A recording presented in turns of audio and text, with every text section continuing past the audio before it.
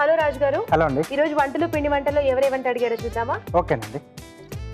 So ఇవాళ శ్వేత గారు రాశారండి రాజమండ్రి నుంచి. ఓకే. సోయా చుక్క కూర చేసి చూపించమన్నారు.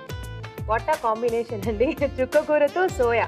చాలా బాగుంటుంది ఉంటుంది? చాలా బాగుంటుందండి. బాగుంటుందా? బాగుంటుంది. జనరల్లీ చుక్క కూర కొంచెం పుల్లగా ఉంటుంది కదండి. బట్ మంచి టేస్టీగా వస్తుంది. టేస్టీగా వస్తుంది. టేస్టీగా వస్తుంది. ఓకే మరి చూద్దాం మీరు ఎలా చేస్తారో. ఓకే. ఓకే సోయా చుక్క కూర తయారు చేసుకోవడానికి కావాల్సిన పదార్థాలు ఏంటో చూద్దాం. సోయా చుక్క కూర తయారు చేసుకోవడానికి కావలసిన పదార్థాలు. మీల్ మేకర్ ఒక కప్పు చుక్క కూర పేస్ట్ ఒక కప్పు తరిగిన పచ్చిమిరపకాయలు రెండు తరిగిన ఉల్లిపాయ ఒకటి టమాటా పేస్ట్ ఒక కప్పు ఉప్పు తగినంత అల్లం వెల్లుల్లి పేస్ట్ ఒక టీ స్పూన్ పసుపు చిటికెడు ధనియాల పొడి ఒక టీ స్పూన్ జీలకర్ర పొడి ఒక టీ స్పూన్ కొత్తిమీర కొద్దిగా నూనె రెండు టేబుల్ స్పూన్లు జీలకర్ర ఒక టీ స్పూన్ కావాల్సిన పదార్థాలు చూసాం కదా రాజుగారు రెసిపీ స్టార్ట్ చేద్దామా? ఓకేనండి. సో ముందుగా ఏం చేసుకోవాలి? ఇక్కడ మనం మీల్ మేకర్ తీసుకుంటున్నాం కదండి. సో దీన్ని ఒక రెండు నిమిషాల పాటు వేడి నీళ్ళలో వేసి తీసేసుకుందాం సో ఎప్పుడు మనం మీల్ మేకర్ ప్రిపేర్ చేసుకున్నా ఫస్ట్. ప్రాసెస్ చేసుకోవాలి. అవును. Okay. So next stove on చేసేసుకుని.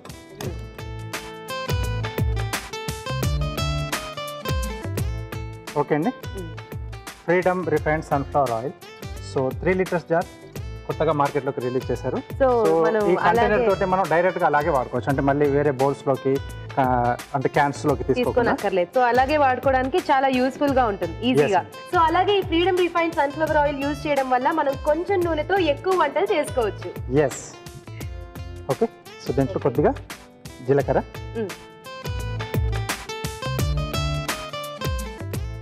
అలాగే ఉల్లిపాయ ముక్కలు. ఓకే సో ఇవి కొంచెం వేగిన తర్వాత.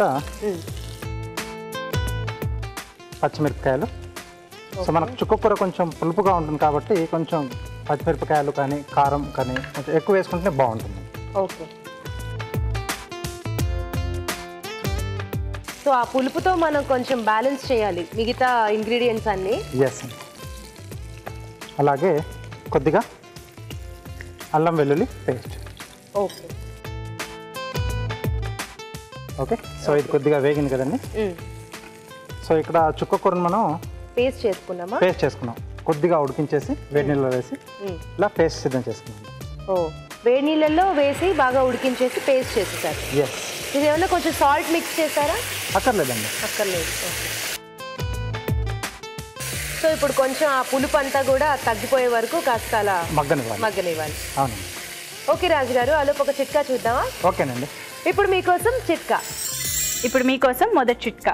ఉప్మా రవ్వ త్వరగా పురుగు పట్టి పాడైపోకుండా ఉండాలంటే ముందుగా ఉప్మా రవ్వని శుభ్రపరిచి కంటైనర్లో పోసి దాన్ని ఫ్రిడ్జ్లో ఉంచినట్లయితే త్వరగా పురుగు పట్టకుండా ఉప్మా రవ్వ త్వరగా పాడైపోకుండా ఉంటుంది. చిట్కా చూసారు కదండి?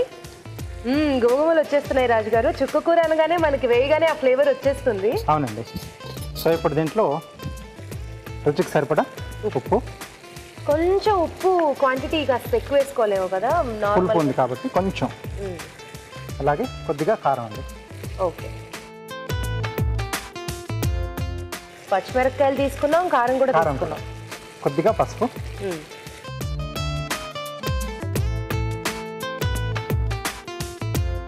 సో జనరల్గా చుక్క కూర తీసుకోగానే మనం కొంచెం వంకాయ కాంబినేషన్ అలా టేస్ట్ లేనిదే ఎక్కువ కాంబినేషన్ తీసుకుంటాం. బికాస్ టేస్ట్ ఉంటే రెండు మిక్స్ అయిపోయి డిఫరెంట్ టేస్ట్లోకి వెళ్తుంది కాబట్టి.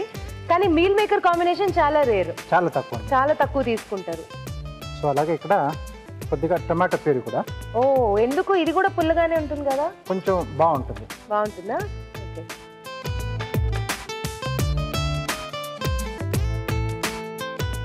ఇది చూస్తుంటే చక్కగా రోటీలోకి ఒక పాలక్ పన్నీర్ ఆ- దీంట్లో వస్తుంది గ్రేవీ. అంతా కూడా. సో కొంచెం డిఫరెంట్ ఏంటంటే ఇది కొంచెం పులుపుగా ఉంటుంది. పులుపుగా ఉంటుంది. అది తినే తర్వాత కానీ మనకు తెలియదు.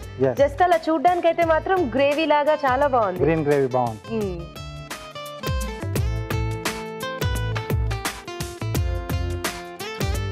సో కొంచెం ఆ టమాటా పేస్ట్ వేసాం కాబట్టి అది కూడా కొంచెం కొంచెం మగ్గితే మనకు మిగతాది ఫాస్ట్గానే అయిపోతుంది. ఇంక ఇందులో వేరే ఏం యాడ్ చేసుకోక్కర్లేదా అండి? వేరే ఏదైనా వెజిటబుల్స్ కానీ కావాలనుకుంటే. సో ఇక్కడ ఓన్లీ మీల్ మేకర్ తీసుకుంటున్నాం కదా? మ్మ్. సో అలా కావాల్సిన మనం మీరు చెప్పినట్టుగానే పాలక్ పన్నీర్ అన్నారు కదా? పన్నీర్ యాడ్ చేసుకోవచ్చు మష్రూమ్ కూడా యాడ్ చేసుకోవచ్చు. సో మిగతా వెజిటేబుల్స్ కూడా మనకు కావాల్సిన యాడ్ చేసుకోవచ్చు. కొంచెం లైట్గా బీన్స్ లాంటివి అయితే క్యారెట్. బీన్స్ కాలీఫ్లవర్ కానీ బఠానీ కానీ మన ఇష్టం ఏదైనా. అన్ని కాంబినేషన్లో బాగుంటుంది. సో టైం ని బట్టి మనకి ఎక్కువ టైం ఉంటే చక్కగా వెజిటబుల్స్ అన్ని వేసుకొని ట్రై చేయొచ్చు. లేదంటే ఇలాగా కూడా తీసుకోవచ్చు. ఓకే? సో కార్నర్స్ మనకి ఆయిల్ కూడా రిలీజ్ చేస్తుంది కదా. సో ఇప్పుడు మీల్ మేకర్ ముందుగా మనం వేడి నీళ్ళలో వేసి తీసాం కదండి?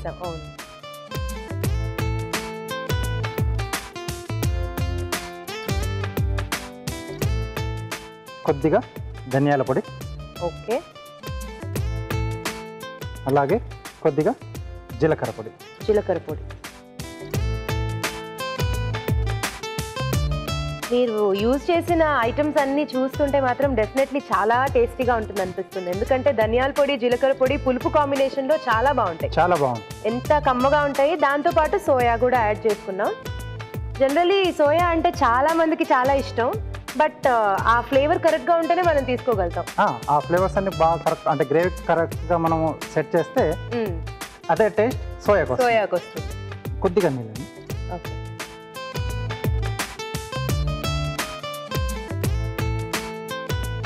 సో ఇది కొద్దిగా మనకు ఉడితే రెడీ అండి. రెడీ అయిపోయింది. సో ఇది మనం చక్కగా చపాతీలు పూరీలు రోటీస్ అన్నిటికీ తీసుకొచ్చాము సో కదా అన్నిటికండి రైస్ ఐటమ్స్ కానీ రైస్లో కూడా పలావ్ బాగుంటుంది? పలావ్లో కూడా బాగుంటుంది. Oh okay. ఓకే రెడీ అయిపోయిందండి? రెడీ అండి. ఓకే. చాలా ఫాస్ట్ చాలా ఫాస్ట్గా అయిపోయింది. జస్ట్ ఆ సోయా మాత్రం వేడి నీళ్ళలో వేసి తీసి ఉంచుకుంటే మిగతా అంతా కూడా చకచక అయిపోతుంది. Yes